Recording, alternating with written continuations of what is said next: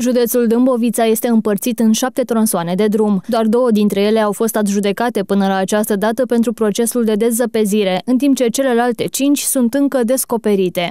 Pentru cinci am ținut trei proceduri de licitație publică. Din păcate nu s-a prezentat mai nimeni.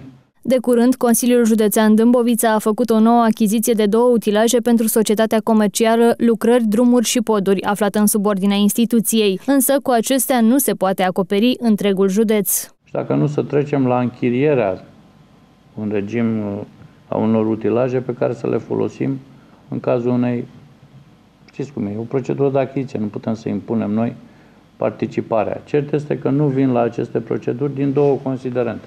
Unu, că nu se plătesc orele de staționare și doi, la mână, pentru că în caietul de sarcină am pus uh, ca acele utilaje să fie dotate cu tahografe, ca să avem o evidență foarte clară a deplasărilor în teren și a orelor efectiv lucrate. Printre cele cinci tronsoane descoperite regăsim puncte nevralgice în sezonul hibernal, adică zona montană și zona de sud a județului, asupra căreia se abate viscolul în fiecare iarnă. Salvarea mai poate veni din partea administrațiilor locale, care ar trebui să pună în funcțiune utilajele de dezăpezire achiziționate pentru a evita astfel blocarea județului. Foarte multe UAT-uri și-au luat uh, utilaje proprii, buldo pe, pe fel de fel de proiecte, mai au închiriate și avem o, o situație astfel încât uh, iarna să nu ne prindă, să spunem așa, descoperiți.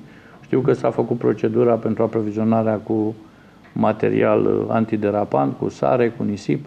Dâmbovița nu este singurul județ din țară aflat în această situație, fără contracte de dezăpezire în prag de iarnă.